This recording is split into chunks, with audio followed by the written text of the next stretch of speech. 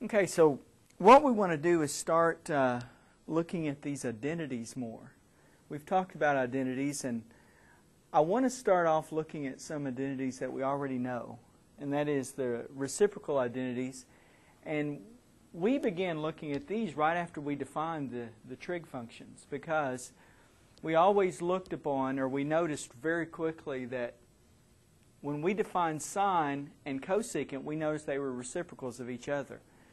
So what we do is we just formally state that, that sine theta is the same as 1 over uh, cosecant theta. So if sine is 1 half, we know that cosecant is 2, just reciprocal. Likewise, uh, cosecant theta equals 1 over sine theta.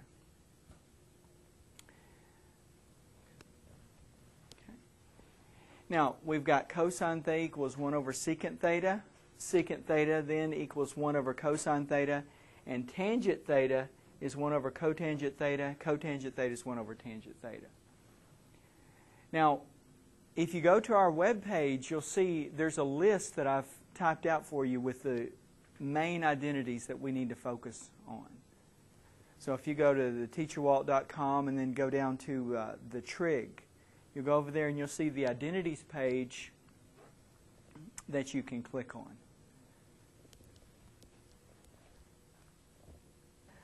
Okay, so these are called the reciprocal identities. Now let's look at the quotient identities. And uh, when we think of quotient identities, we think of tangent theta, which is sine theta over cosine theta. And that's one that we've explored before also. We've, we've noted that when we looked at the unit circle and defined sine to be the y and cosine to be the x, we noted that tangent was just sine over cosine. And likewise, cotangent theta equals cosine theta over sine theta. And we refer to those as the quotient identities because, you know, you've got a quotient there, sine over cosine and cosine over sine. Okay, so we've got the quotient identities. Now, these, uh, I want to look at three identities here that we've not really focused on much before. And then we'll look at the Pythagorean identities, and those will be the ones that we work on for a while before we introduce more. Now, if you notice, what I've done here is I've put the graph of sine, cosine, and tangent. And I want to make an observation about, first of all, sine. And you'll have to think back when we were in, pre-calculus, when we were studying odd and even functions. And if you look at sine here, I don't know if, you know, that's a long time ago, but do you remember in classifying sine as either an odd or even function, what would it be, you think? Now, notice this. Let me give you a hint. If we take the sine of theta over here, notice we get a positive number, right? What if we symmetrically go across the axis and take the negative of that angle? In other words, let's suppose we take the sine of theta over here, we get a positive. What about if we take the sine of negative theta? We get negative, right? In fact, we get exactly the opposite. See, you can see that from the graph. Do you see that it passes through the origin here. So while positive values of theta give us positive values of sine here, symmetrically those negative values of theta will give us the opposite. So note it. So this leads us to this identity. Sine of negative theta is equal to negative sine theta.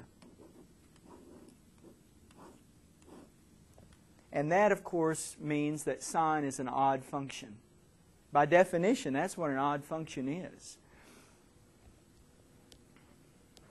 So whenever you see sine of like negative pi over 2, or negative pi over 3, something like that, you can replace it with negative sine of pi over 3. Any questions about that? Now let's go to the next one and look at cosine. Now, notice let's suppose that we're over here in the positive, have a, we have a positive value for theta. We take the cosine of theta. Notice we go up and we hit the graph and it's positive. What if we take the opposite of that value of theta?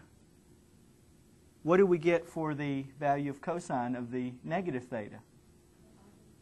Now look, cosine theta, we get this. Negative cos, uh, cosine negative theta, we get this. So what do you get? What's the difference in cosine theta and cosine negative theta? Notice, look at the graph. Here's cosine theta. Here's cosine negative theta. There's no difference, right? Cosine is said to be an even function because if we take the cosine of negative theta, that's just the same as the cosine of theta. So cosine is an even function.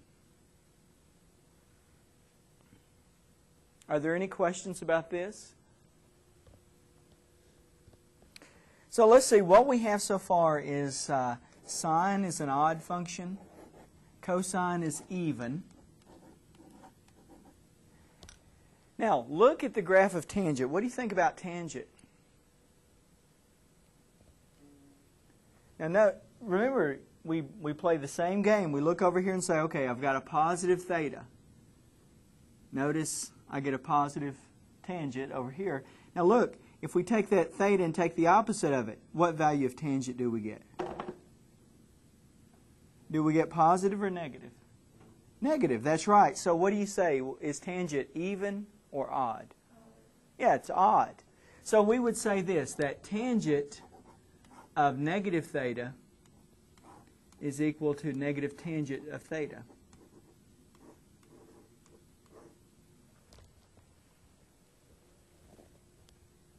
Okay, now the next thing, the next set of identities we want to look at are known as the Pythagorean identities. And we've already looked at one of these Pythagorean identities, the one involving sine and cosine. But there are others. There are two more. Uh, there's one involving tangent and secant, and one involving cotangent and cosecant. So let's look at these uh, Pythagorean identities.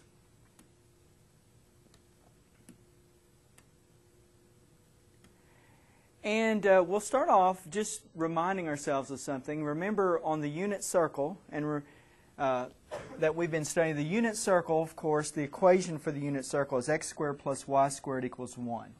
That's the, you know, that's the equation that gives us this circle. Now, also remember that we defined cosine to be the x coordinate, and we defined sine to be the y coordinate. Now keep in mind that this circle has as its equation x squared plus y squared equals 1. So, putting that together with the fact that sine is equal to y and cosine is equal to x, notice what this implies. The square of cosine, so cosine squared theta, plus sine squared theta, that must also equal 1. So this is our first Pythagorean identity. Sine, uh, cosine squared theta plus sine squared theta equals 1.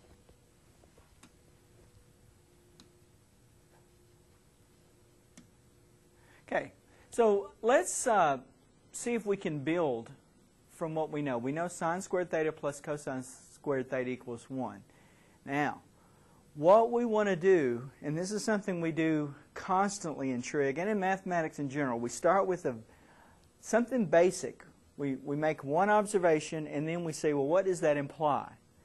Now, we've studied some things so far. We've, we've learned about this Pythagorean identity, sine squared theta plus cosine squared theta equals 1. But we also have some other identities.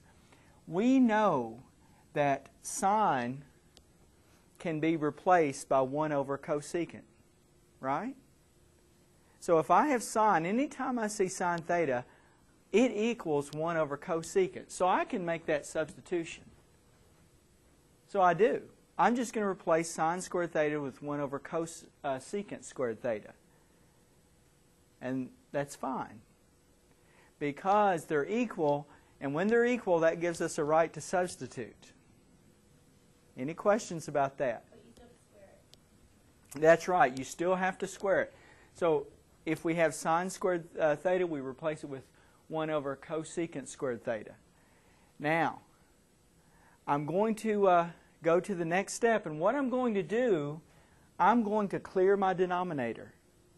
In other words, I'm going to multiply through by secant squared theta. Now notice, I multiplied every term by secant squared theta. So notice, I had 1 over secant squared theta there. I, I, multiplied it by 1 over secant squared theta in the first term. In the second term, notice I had cosine squared theta. I multiplied that by secant squared theta. And on the other side, I multiplied 1 by secant squared theta. Now, I'd been saying secant, we, it was cosecant squared theta. We multiplied every term by cosecant squared theta.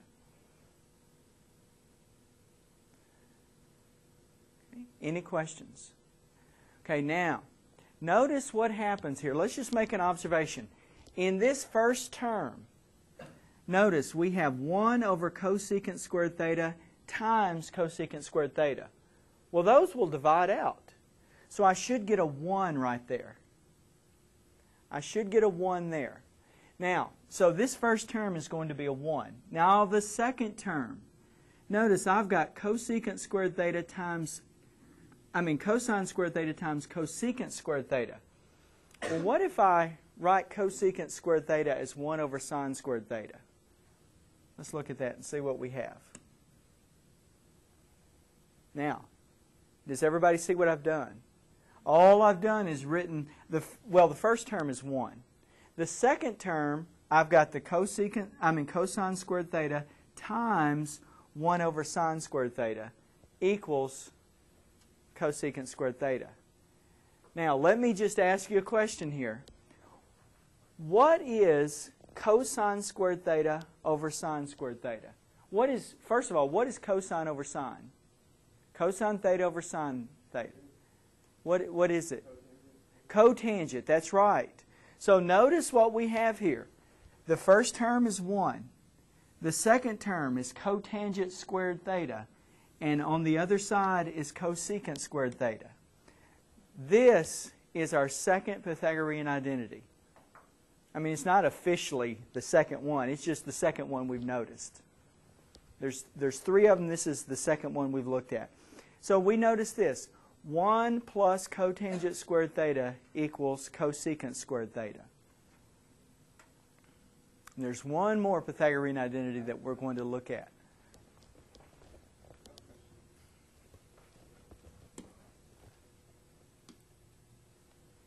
Okay, let's go to the next Pythagorean identity, the last one. And we're going to take the same approach. We want to instead of replacing the sine with 1 over cosecant, we want to replace the cosine with 1 over secant.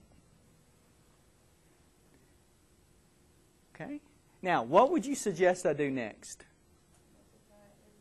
That's right. Multiply everything by secant squared theta.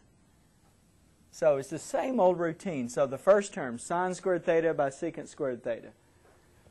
1 and, and then uh, 1 over secant squared theta by secant squared theta, and then, of course, 1 times secant squared theta. Now, we make the same observation this time. Notice the second term. The second term, we have secant squared theta over secant squared theta. Well, of course, that's 1. And so this second term is going to be 1, but look at the first term sine squared theta times secant squared theta. What would you suggest I do with that secant squared theta? 1 over, that's right, 1 over cosine squared theta. So let's see what we've got. Now, so we've multiplied by secant squared theta. Now let's see if we can rewrite it. So, so just like you suggested, I've got sine squared theta times 1 over cosine squared theta plus 1 equals secant squared theta. Now, that's right. Secant squared theta over cosine squared theta is tangent squared theta. So, behold the third trigonometric, I mean the third Pythagorean identity. Tangent squared theta plus 1 equals secant squared theta. So here we have the here we have the Pythagorean identities. We have sine squared theta plus cosine squared theta equals 1. We have cotangent squared theta plus 1 equals cosecant squared theta. And we have tangent squared theta plus 1 equals secant squared theta. Those are the three Pythagorean identities that we're going to be using. Any questions about that?